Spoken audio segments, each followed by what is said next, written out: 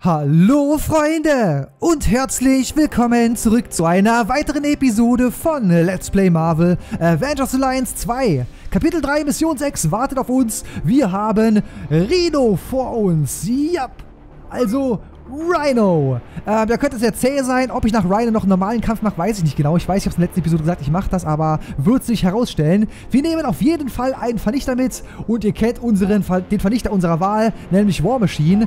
Äh, dann nehmen wir auf jeden Fall noch einen Tank mit gegen die Aufmischer. Das ist She-Hulk. Und das letzte, was wir mitnehmen, ist eigentlich egal. Mal schauen, was hier noch so reinpasst. Ich würde gerne irgendwie einen Star-Lord mit... Oh, Rocket wäre cool. Äh, Star-Lord wäre auch cool. Mal schauen, was es noch gibt. Spidey... Ähm, Spidey ist nicht so effektiv. Gamora, Daredevil, ähm... Ist da was? Ich glaube, wir nehmen diesen Iron Man mit. Wir nehmen mal diesen Iron Man hier mit. Ist das eigentlich so ein... Age of Ultron Iron Man? Ja, genau, den nehmen wir mit. Denn der ist der Vernichter. Das passt schon. Los geht's. Level 29 Rhino. Also ich gehe mal davon aus, dass ähm, wenn man dann irgendwann Kapitel 4 freigeschaltet hat und das auf schwer spielt, dass dann ähm, Level 30 gefragt ist. Lasst euch mal überraschen, welches Team ich für Level 30 bringe. Ich weiß schon ganz genau, welches Team ich einsetzen werde für die Kapitelmission auf schwer mit Level 30 dann. Beziehungsweise für normal lasse ich mir noch was einfallen. Ne, ihr seht, dieser Iron Man macht nämlich ähm, ein Schild auf uns alle. Ist zwar ein kleiner Schild, aber hey, es ist ein Schild. So, wir greifen an auf A. Ich meine, wenn die Gegner schon, äh, schon drei Sterne haben, müssen wir von jedem Schild froh sein, den wir kriegen können. Und dann schilden wir uns auch nochmal extra mit Rekursionsfeld. Und jetzt schauen wir mal, was für Angriffe er hat. Oh, er hat diesen Angriff hier. Der ist interessant. Teufelsraketen. Sehr schnell. Werden wir gegen, gegen Ryan auf jeden Fall benutzen. Und ähm, Fluchtgeschwindigkeit wechselt einen anderen Charakter ein. Das mache ich nicht. Das ist im PvP sehr gut. Wenn man das aktiviert, dann greift er an, wird ausgewechselt, kommt aber gleich wieder rein, weil man im PvP keinen anderen Charakter aktivieren kann. Und der frischt sofort den Schild noch auf alle Charaktere auf. Also ist eine definitiv sehr gute Attacke im PvP und macht auch noch die Gegner weit geöffnet. So, als Age of Ultron Iron Man ein ziemlich cooler Charakter im PvP. Mit dem PvE wird halt ausgewechselt, musst du später wieder einwechseln und dann macht er wieder Schild auf alle.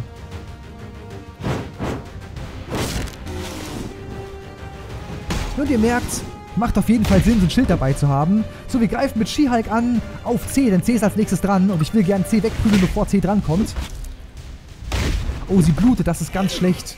Ähm, machen wir mal hier das da, Teufelsraketen. Ihr merkt das nicht besonders stark, aber die Gegner haben jetzt explosiv. Wir kriegen zusätzlichen Schaden, wenn sie durch Explosionsangriffe getroffen werden. Und äh, wir greifen jetzt mal an auf B. Sehr gut. Und noch meinen kostenlosen Angriff, weil wir wütend sind. Und das gleiche machen wir jetzt mal hier. Ne? Zwillings ist äh, Bonusschaden.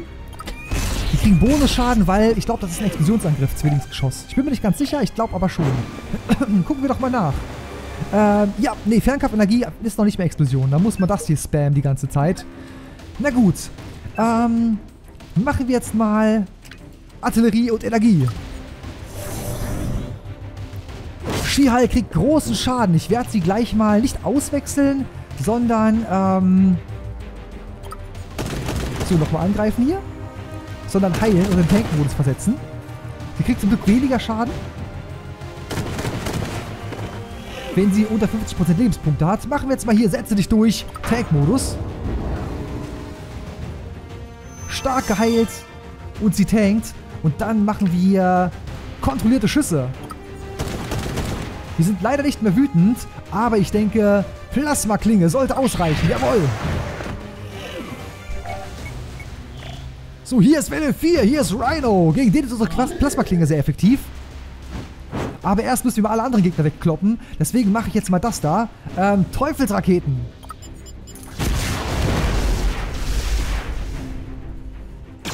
Äh, schnelle Ladung. Na gut. Jetzt machen wir Lange Arm des Gesetzes auf C, damit wir C schon mal los sind. Oh, sie kriegt großen Blutungsschaden. Äh, wir laden mal nach mit Rekursionsfeld. Außerdem bleiben wir dadurch wütend. Rhino soll ruhig mal anvisieren, das kann uns egal sein. Und dann mache ich mal, es ist das ein Explosionsangriff. Genau, sehr gut. Ne, hier Explosionsangriff. Machen wir mal auf B. Bam, sehr schön. Der hat gesehen, hat extra Schaden bekommen. Und jetzt wechseln wir ein, nämlich Iron Man. So, Rhino greift an. Wir kriegen zwei kostenlose Angriffe für seinen Angriff auf uns. Als Konter. Er visiert noch einmal an mit wilde Flucht. Wir könnten ihn stunnen, theoretisch. Und jetzt werden wir She-Hulk auswechseln. Ähm, für ihn. Und jetzt achtet mal drauf. Weil wir ihn eingewechselt haben, ist der Schild wieder aktiv. So, natürlich ist... Achso, der Schild ist auch schon aktiv. Greifen wir mal hier an. Kontrollierte Schlüsse. Wir sind da wütend und sind gleich nochmal dran. Und der fällt jetzt zukünftig nur noch Energiekriegen. Äh, machen wir aber vorher nochmal einen stärkeren Schild. Erweiterte Deckung. Das verstärkt außen noch all unsere Charaktere. So, billiger Schaden kann uns egal sein. Wir greifen an mit Plasmaklinge. Und ihr seht, es macht großen Schaden auf Charaktere, die schwere Panzerung haben, so wie ihn zum Beispiel. Und jetzt verpassen wir ihm mal Zwillingsschuss. Schnelle Ladung. Und wieder Zwillingsschuss. Und jetzt machen wir Kryo-Explosion. Das macht ihn ungeschützt, das heißt, er hat nochmal weniger Verteidigung. Völlig in Ordnung. Und jetzt äh, machen wir mal Fluchtgeschwindigkeit. Bam! Gegner verwüstet, weit geöffnet. Wechseln wir mal Vision ein. Ziemlich cool, muss ich sagen, diese Auswechselskills.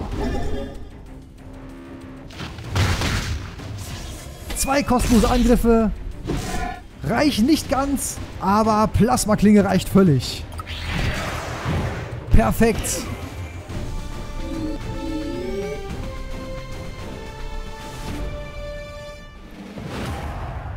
So, das war's mit Rhino. Und ich würde sagen, äh, ich werde jetzt hier an der Stelle die Episode beenden. Und in der nächsten Episode machen wir dann einen... Oder mal schauen, Moment, gucken wir doch mal ganz kurz.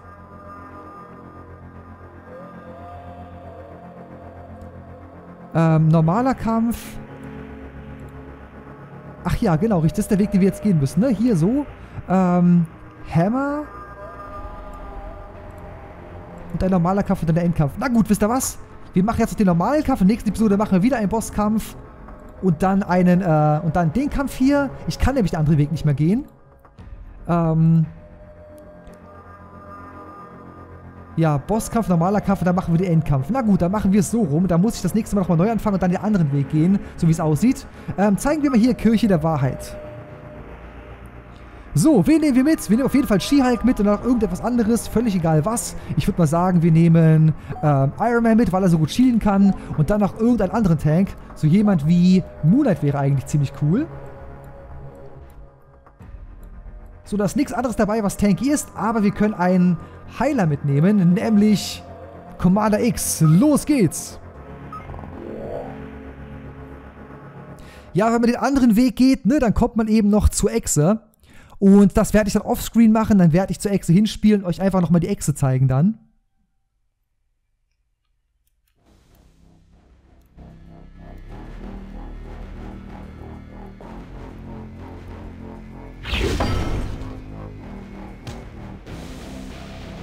So, dann wollen wir mal. Kunde und Combo auf B. Gegner verprügelt und geschwächt. Das ist super klasse. Wisst ihr was? Ich mache einfach jetzt mal Kiel-Explosion hier. So, dass wir schon mal los sind. Und dann greife ich mal an hier auf A. Denn ich hoffe mal, ich gehe mal davon aus, dass es reicht. Jawohl. Sehr schön. Und die erste Welle habe ich schon weggeprügelt. Wir haben zwar kein Schild auf allen Charakteren, aber ist doch egal. Äh, jetzt greifen wieder an und zwar auf A. So, Mist. Na gut. Wenn wir Pech haben... Ah ja, jawohl. Auf Fist ist doch Verlass. Ne, als der Einzige, der uns angreift, ist jetzt C. Soll er ruhig. Und dann machen wir gleich mal Ski-Explosion auf B. Sehr gut, das hat gereicht. Das ist ein sehr offensiver Einfluss, das gefällt mir. Ähm, ich mache mal hier Schild auf uns alle. So, und She-Hulk greift bitte mal an mit schnelles Urteil. Nummer 1 und Nummer 2. Wenn er uns jetzt angreift, haben wir ein Schild. Aber Iron Fist regelt das Ganze vorher. So, dann wollen wir mal wieder schnelles Urteil auf B. Den haben wir wegvernichtet. Und dann machen wir Wogen der Unibeam auf A. Hat nicht ganz gereicht, ist aber nicht schlimm. Wir machen nämlich Kunde und Combo. Grandios. So, laden wir uns mal auf mit taktische Einschätzung und machen dann Angriff auf A. Denn A ist als nächstes dran. A will ich weghaben, hat leider nicht ganz gereicht. Ist okay. Auch der Angriff von Iron Fist hat nicht gereicht, aber der Konterangriff von She-Hulk hat gereicht. Sehr schön. So, und jetzt machen wir mal ähm, Kunlun Combo auf B. B greift uns an. Nein, B macht zuversichtlich. Jetzt greifen wir mal mit She-Hulk ähm, C an. Zack. Perfekt. Der kriegt Bonusschaden, soll er doch. Wir verpassen nochmal Kunlun Combo. Und das war's dann auch für ihn. Wir haben viele Objekte gefunden. Acht Stück schon an der Zahl. So, der Endkampf gegen diese Gegner. Den einen verpassen wir mal eine Chi-Explosion. Bam! 2700 Schaden. Extrem mächtig, diese Attacke. Macht bis zu 300% extra Schaden, basierend auf verwendetem äh, Geist. So, und dann machen wir mal hier wogende, äh, nein, Cryo-Explosion.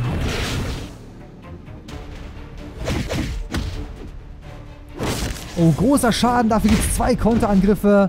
Und Shield ist noch einmal dran und zeigt ihm mal schnelles Urteil.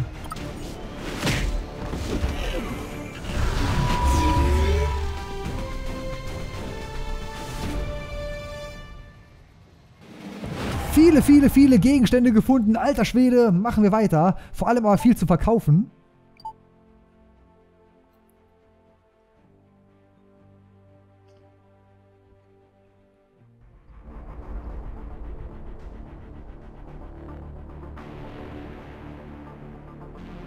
Gut, Miniboss Hammer machen wir in der nächsten Episode und auch den, äh, den normalen Kampf hier.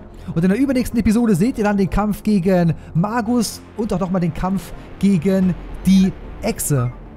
Lasst mir einen Daumen nach oben da, wenn euch die Episode gefallen hat. Wenn nicht, schreibt mir rein, was ich besser machen soll. Und ansonsten danke ich herzlich fürs Zuschauen und hoffentlich bis zur nächsten Episode. Tschüss.